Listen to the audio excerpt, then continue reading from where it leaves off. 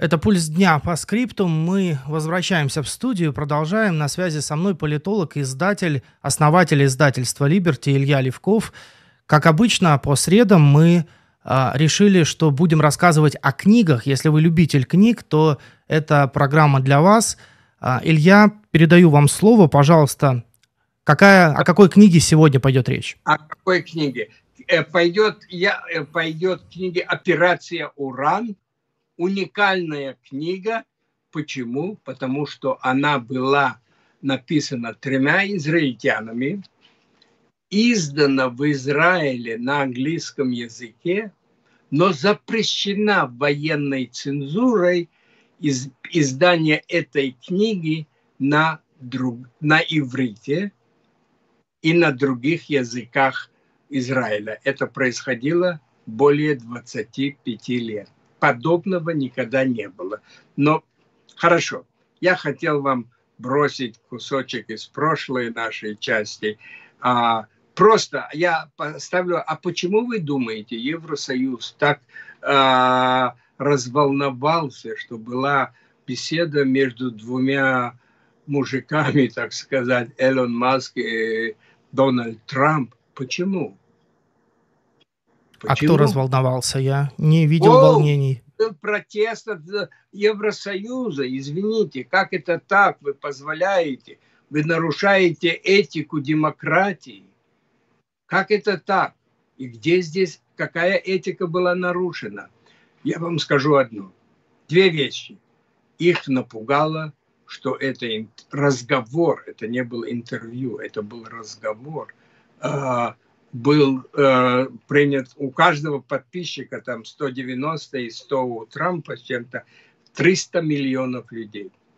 Раз. Вторая точка окончательная. Вот это э, письмо, которое было направлено из Евросоюза и главным образом британцами, невероятное, потому что это своего рода леска, которая была заброшена туда, в Европу, Госдепом, чтобы потом поднялся шум и гам, и здесь опять поднялись бы все на ноги. Что же происходит с нашей демократией? Не объясняя, что здесь было антидемократического. А насчет демократии еще одно предложение и кончил. Клянусь, рука на сердце.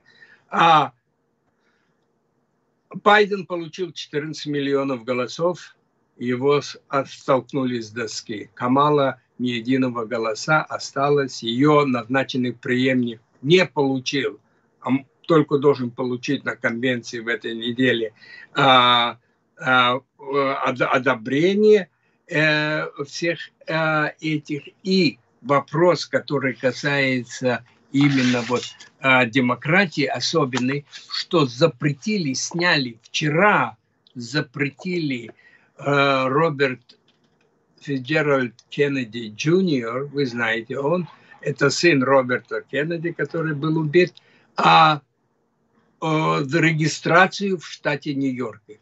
Он живет в штате Нью-Йорке, у него телефон э, в Нью-Йорке, у него офис в Нью-Йорке, у него водительские права в Нью-Йорке, у него квартира в Нью-Йорке. Ему запретили. Демократическая партия или демок... партия демократов запретила этому ведущему исторической личности зарегистрировать, чтобы люди, которые думают, что у него есть что сказать и предложить, могли бы голосовать за него. Они отняли это право, и они стараются это делать во многих штатах и как можно больше. То извините, кто здесь давит сапогом на горло демократии? Точка, я возвращаюсь к книгам. Сейчас, книга эта а, была, как я вам сказал, запрещена, запрещена а, израильской цензурой. И книга эта, она описывает детально, как Израилю удалось похитить судно в Средиземном море и как-то перенаправить его, переименовать, перекрасить, что они только не делали, различные, перевести эти 200 тонн урана в Израиль. Это было год по, после шестидневной войны, а именно в 1968 году. Дайте я вам прочту немножко, что здесь написали в прессе, но это было, вот я вам скажу, все-таки этот клубок как-то развился в 1977 году, мне кажется. Израильский агент сознался норвежской полиции, что он помогал в, операцион, в операции похищения и доставки в Израиль 200 тонн урана около ну, 9 лет это было раньше. А, и сейчас опять у меня выскочило, извините, я читаю с монитора, чтобы увеличить. А, сели, э, в общем, сирена молчала. Все начали, каждый, слышалось только э, тонкое накопление вращающих э, антенн, радаров и т.п. и т.п. В центре управления действия Даниэль Гор, Гордон также э, впился. Это было общее. Сейчас что писала пресса об этой, об этой всей вещи, об всей этой вещи э, это была строго запретная операция для всех э, самолетов, как гражданских и военных, чтобы они могли понять. О, и здесь интересное происходит в наши дни как раз, что это было, как видно, э, судно принадлежало государству Марокко, Марокко, они были всегда э, друзья с Израилями. Когда-то израильская разведка спасла короля, потому что они узнали, что некие самолеты будут э, пикировать и планируют сбить самолет, в котором летел э, король король Марокко. И вот с тех пор у Израиля с Марокко, которая отделенная там э, две с половиной тысячи километров, почему бы нет, у них хорошие отношения. А, я стараюсь здесь прочитать вам. А, здесь, а, во всяком случае, я вам устно расскажу.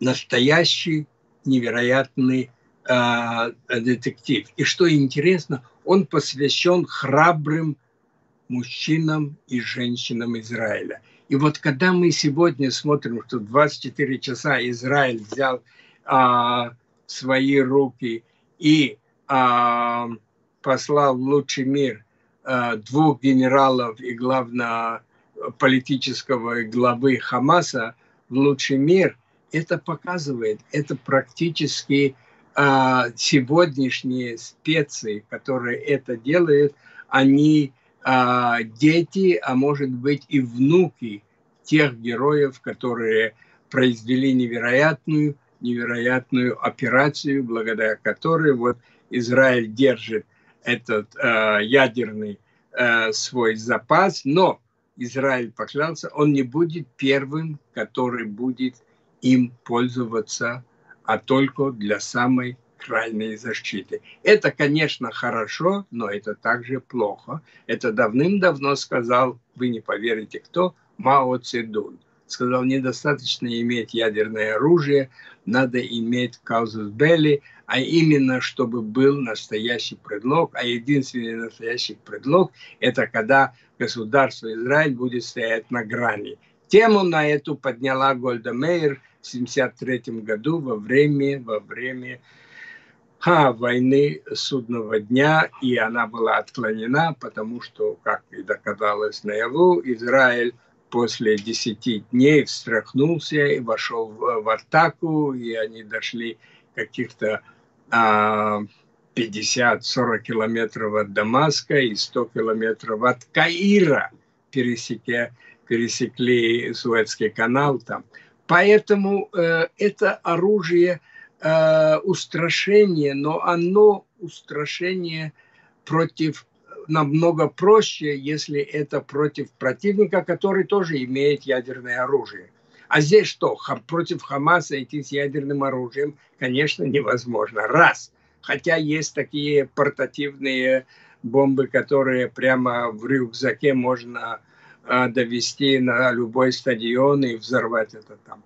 Кроме того, а, у Израиля проблема с э, этой... Там, но в этом случае здесь идет вопрос о государстве. вот хотя бы государство, которое на грани получить, э, развить свою ядерную мощь, вот здесь и вопрос. Как вы знаете, а, Израиль разбомбил уже два с половиной а, атомных э, реакторов, то у них есть опыт на эту тему. И можно было, и можно даже есть еще шаги другие, которые наяву, наяву, наяву, а именно, э, ну, э, ах, индустрия нефти Ирана, ее можно очень-очень просто положить в спичку, я говорю, конечно, э, простым языком, упрощенным языком. Ну, можно, кто-то забыл окурок и бросил, но это больше, надо, конечно, мощью военной. И тогда у Ирана есть другая головная боль, чем защищать своих, так сказать, э, союзников Хизбалла и Хамас э, в войне против Израиля. Поэтому я думаю, что впервые, впервые э, та э, страна, которая подняла меч, мне кажется, вернула его опять в ножны, чтобы не... Э, потому что она сказала, это слишком дорого и опасно для нас. Но они наяву. Вот вчера они бросили 40 ракет. Значит, Израиль подождет раз, второй раз, понимаете? Но невозможно, невозможно все время говорить, вы э, вот пересеките эту красную линию, тогда мы. Видите, Израиль в ситуации, где ему практически все войны были навязаны, если не и начаты, провоцированы и начаты. Как, э, может быть, шестидневная война был еще один день, два, и они бы начали бомбежку. Судный день дали, знали, знали 12-15 часов, но не рассказали, не хотели мешать евреям быть, э, значит, проводить судный день. А вот вчера, когда был тоже своего рода судный день, а именно, когда в этот день были сожжены аж два, аж два еврейских храма, первый и второй, и вот все думали, вот, ну, они, как видно, идут по линии испортить израильтянам э, их религиозные, исторические праздники. И тоже не было практически ничего, а какой-то маленький пшик. И вот интересно, может быть, может быть, а, надо укротить. Я давно говорил, что практически в этом треугольнике Соединенные Штаты на сегодняшний день ничего существенного не могут делать против России или против Китая. А вот против их союзников Ирана могут делать очень-очень много. И почему-то они шлют главного, э, главного дипломата на, в эти минуты в Израиль, понимаете? Пускай он идет в эти туннели, понимаете? И разговаривает с хамасниками там. Но он, он Блинкин никогда подобного не делает. Он, он носит слишком красивые костюмы, чтобы спускаться в туннели газы. Илья, спасибо большое за то, что нашли время, присоединились к нам сегодня. Это был политолог, издатель, основатель издательства «Либерти» Илья Левков. Большое спасибо вам и надеюсь, это понравилось нашим зрителям. На этом все. Увидимся с вами завтра в программе «Пульс дня» на RTN в 7 вечера, как обычно. Хорошего вам вечера и до свидания.